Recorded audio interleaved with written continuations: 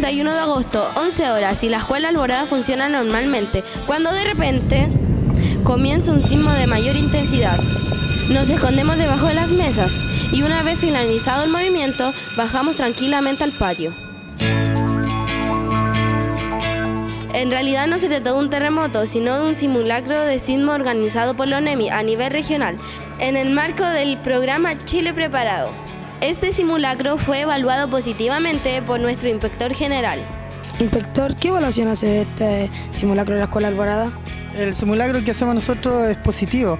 Eh, para tener 930 alumnos, eh, hicimos una vocación en un minuto 52, supervisada por una persona especial de la ONEMI y consideró extraordinario la evacuación, los alumnos bajaron muy bien ordenados, los profesores también, el comportamiento de los chiquillos, el ver las reglas de evacuación, extraordinario. Es una evaluación súper positiva, quedamos contentos. Valoración positiva que también es una representante de la ONEMI. ¿En qué consiste la política de simulacros en el país? Mira, este simulacro que se hizo fue a nivel regional. Se hizo en todos los colegios y mm, el fin era, era ver cómo estamos preparados en el caso de un terremoto 7.8.